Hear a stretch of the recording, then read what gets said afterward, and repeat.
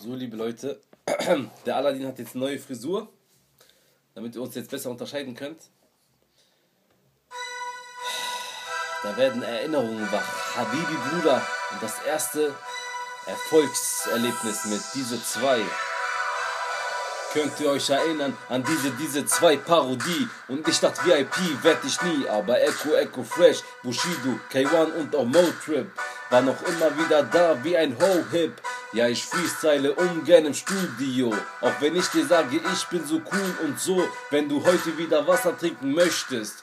Ja, Agro TV, wo sind meine Rechte?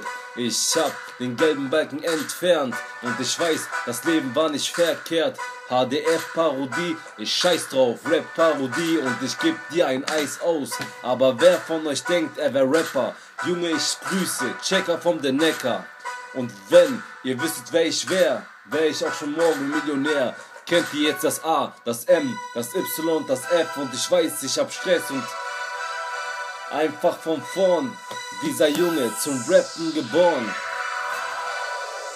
Junge, ich zieh jetzt die Mütze an, weil ich King bin. Und ich habe heute wieder mal ein Ring-Ding. Und ich weiß, der beste Rapper Deutschlands, weil er in der Schule leider kein Deutsch kann. Ja, mein Freund, ich glaube an mich, ich glaube an dich und ich scheiß auf das Tisch. Denn ich scheiß auf deutsche Grammatik. Ja, ich weiß, ich bin Deutscher und Attik. Auch wenn der Satz grad keinen Sinn ergab. Ja, ich weiß, ich bin Stefan Raab, Cousin von Haftbefehl, Rap-Parodie Nummer 9. Und ich weiß, ihr werdet euch freuen. Grüße an Pone, Grüße an Seyo, Grüße an Well Guide, AK und Samim.